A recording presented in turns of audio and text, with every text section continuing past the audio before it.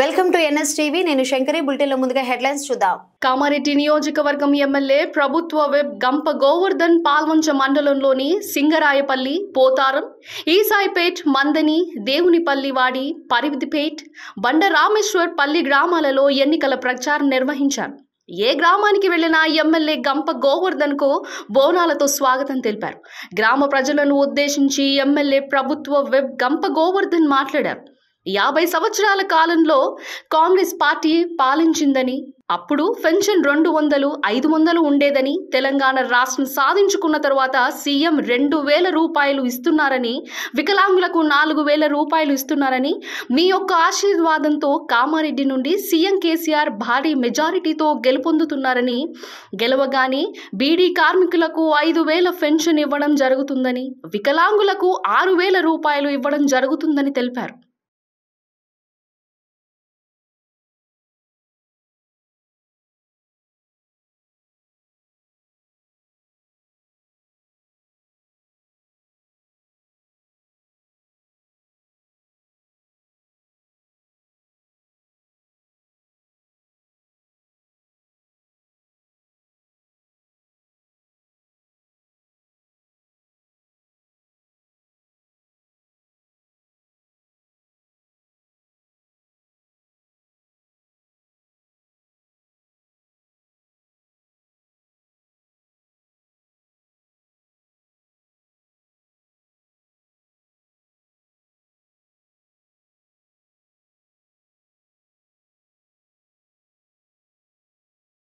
రాష్ట్రాన్ని సాధించడం జరిగింది.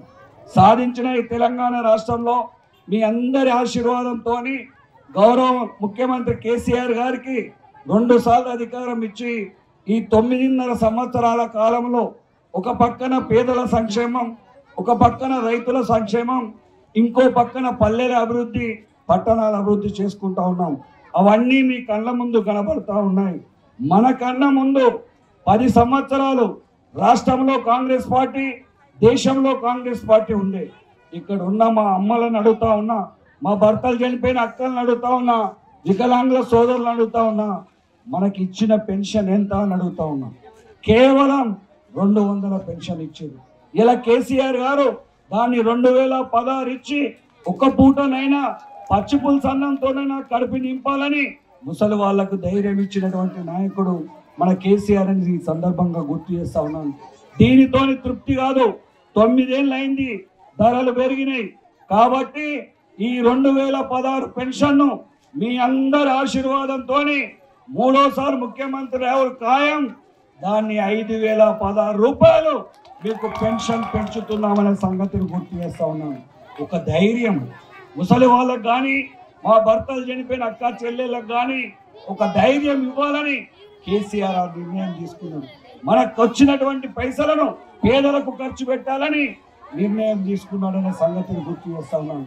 వికలాంగుల సోదరులకు మొన్నటి దాకా మూడు వేలు ఉండే నాలుగు నెలల కింద నాలుగు వేలు చేసినాం వాళ్ళకు ఆరు వేల రూపాయలు చేస్తున్నామనే సంగతిని గుర్తు చేస్తా ఉన్నాం ఒక భగవంతుడు చిన్న చూపు చూసి వాళ్ళు వికలాంగునైనంత మాత్రాన గవర్నమెంట్ చిన్న చూపు చూడొద్దని ఒక ధైర్యం ఇవ్వాలని ఇలా ఆరు వేల రూపాయలు ఇచ్చి వాళ్ళని ఆదుకోవడం జరుగుతుంది.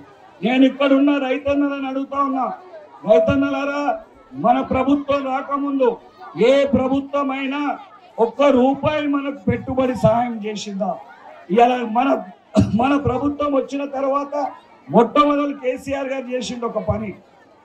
మనం తొమ్మిది పదేళ్ళు కాంగ్రెస్ హయాంలో తొమ్మిది గంటల కరెంట్ ఇస్తా అన్నారు. ఆరు గంటలు మూడు గంటలు చేసింది. ఆరు మూడు నుంచి ఐదారు గంటలు కూడా ఇవ్వలే. తెల్లందాక బోర్ల దగ్గర పోయి ఘోషపడ్డం. మోటార్లు కాలిపోయి వైండింగ్ షాప్ల దగ్గర వేల రూపాయలు ఖర్చు పెట్టుకున్నాం. ఇవాళ కొట్లాడి తెచ్చిన తెలంగాణలో రైతులు బాధపడద్దని ఇవాళ మూడేళ్ళు కష్టపడి వేల కోట్లు ఖర్చు పెట్టి ఫస్ట్ కరెంటును బాగు చేసుకున్నాం. ఇలా కరెంటు మూడేళ్ళలో బాగు చేసుకున్నట్లా ఇలా ఇరవై నాలుగు గంటల కరెంట్ ఇచ్చిస్తే కొంత పంట పండించుకొని రైతు సల్ల ఉంటేనే ఈ దేశం బాగుపడుతుంది. దేశానికి అన్నం పెట్టేది రైతని ఫస్ట్ కరెంటు బాగు చేసుకున్నాం.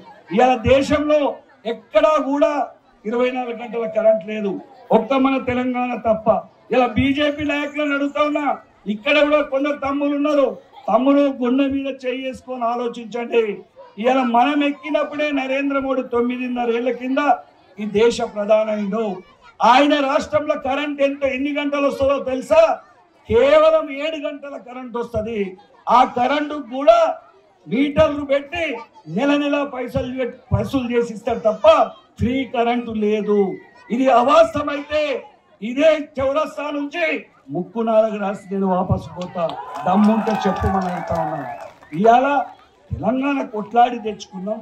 రైతు సల్లగుండా. ఇప్పుడు మీ అందరి ఆశీర్వాదంతోనే మూడోసారి ముఖ్యమంత్రి అవుతాడు ఎనిమిది వేలు ఎనిమిది వేలు పదహారు వేల రూపాయలు రేపు పెట్టుబడి రైతు బంధు ఇవ్వబోతున్నాం మా రైతన్న కానీ సంగతి గుర్తు చేస్తా ఉన్నాం.